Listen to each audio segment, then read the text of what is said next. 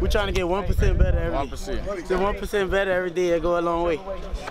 Roll Wave.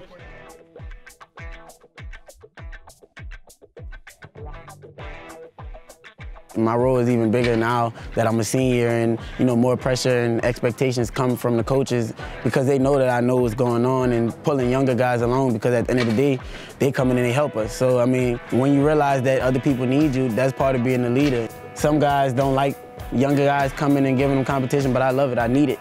It pushes me and makes me a better player.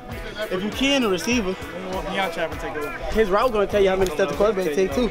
Spring football is really for us to come together. We lost a lot of guys on defense. Um, getting camaraderie, everybody coming together and playing together, that's huge in the spring and understanding new concepts.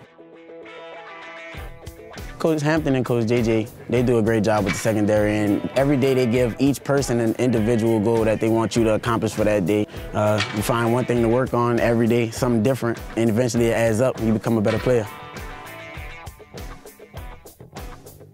Early in my recruitment, I had other offers. Tulane didn't come around until my senior year, and when the offer came, I jumped on it because I wanted to be here. Because I've been in New Orleans my whole life, that was a big part of my recruitment, was being in my hometown and playing here, family and friends come watch me play. So I think the city as a whole is our biggest recruiting tool. Being in the city of New Orleans is like no, no place other, so, you know, it's great.